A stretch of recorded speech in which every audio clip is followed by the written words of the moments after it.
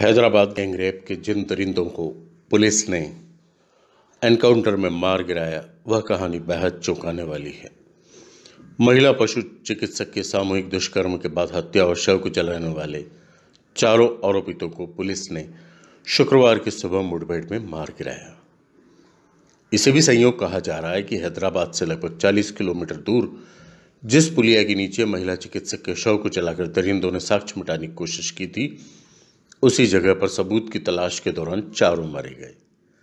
Police उन्हें लेकर वहाँ तड़के पहुँची थी। तब धुंध का फ़ायदा उठाकर आरोपितों ने भागने की कोशिश की। पास में ही घना जंगल भी है। आरोपितों ने पुलिस से हथियार छीनकर फायरिंग की, लेकिन बहुत दूर तक भाग नहीं पाए। एनकाउंटर स्थल पर ही Cyberabad police commissioner VC Sajjanar ने प्रेस कॉन्फ्रेंस की। उन्होंने बताया कि पुख्ता साक्ष्य के आधार पर चारों को गिरफ़्तार कर रिमांड पर लिया गया था।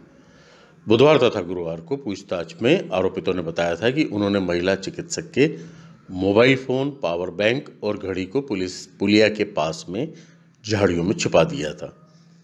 पुलिस वही सामान बरामद करने और घटना का सीन रिक्रिएट करने के लिए शुक्रवार तड़के चारों को शादनगर के चट्टनपल्ली स्थित पुलिया पर ले गई थी। हैदराबाद बेंगलुरु हाईवे चुम्बालीस स्थित इसी पुलिया के नीचे चारों ने महिला चिकित्सक के शव को चलाया था। सज्जनार ने बताया कि 10 बजे पुलिस कर्मियों की टीम सुबह तीन बजे आरोपितों, मोहम्मद आरिफ, शिवा, नवीन और केशवुलू को लेकर घटनास्थल पर गई थी। वहाँ धुंध थी। पुलिस ने महिला चिकित्सक के सामान की तलाशी शुरू की। आरोपितों ने आपस में इशारेबाजी कर भागने का प्लान बनाया।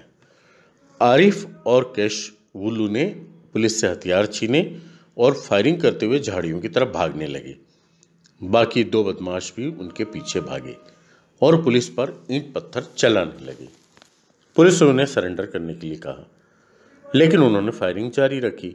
इसके बाद पुलिस को भी आत्मरक्षा में गोली चलाना पड़ी, जिसमें चारों मारे गए। सज्जनार ने बताया कि आरोपितों के हथियार छीनकर भागने से लेकर उनके मारे जाने तक की कार्रवाई सुबह पौने छः बजे से छः पंद्रह तक चली। जहाँ चारों मारे गए, वह स्थान पुलिया से लगभग 400-500 किलोमीटर 500 मीटर दूर था। सचनार ने यह भी बताया कि इसी मुठभेड़ में एक सब इंस्पेक्टर और एक सिपाही को सिर में गोली लगी। वहीं बेंगलुरु के पुलिस आयुक्त भास्कर राव ने मुठभेड़ को समय पर की गई सही कार्रवाई बताया। आरोपितों के मारे जाने की खबर मिलते ही लोग खुशी से झूम उठे घटनास्थल पर पहुँच गए। उन्होंने पुलिस को कंधे पर उठा लिया और फूल बरसाए। हालाँकि राष्ट्रीय मानव अधिकार आयोग ने घटना की जाँच के आदेश दिए हैं। कुल मिलाकर पुलिस मुठभेड़ में चारों दरिंदों के मारे जाने की खबर महिला चिकित्सक के परिजनों को टीवी के ज़रिए मिली। पीड़िता के पिता ने बेटी के कातिलों को मार गिराने वाली पुलिस के साथ ही तेलंगाना सरकार को धन्यवाद दिया। साथ ही दुख की इस घड़ी में उनके साथ खड़े लोगों का भी आभार जताया। पीड़िता की बहन ने कहा, उसकी बहन तो ज़िंदा नहीं हो सकती, लेकिन दरिंदों के मारे जाने से उसकी आत्मा को शांति ज़रूर मिलेगी। इस घटना से दूसरों के अंदर भी डर पैदा होगा।